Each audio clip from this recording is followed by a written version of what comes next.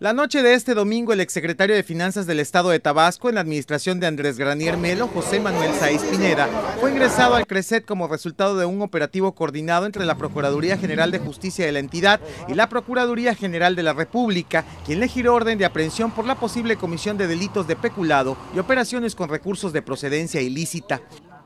luego de que este pasado sábado Saiz Pineda fue detenido por elementos ministeriales federales en Tamaulipas al intentar salir del país. Fue presentado este domingo alrededor de las 5 de la tarde ante el Ministerio Público Local, luego de que no acudió a su comparecencia programada el pasado 5 de junio.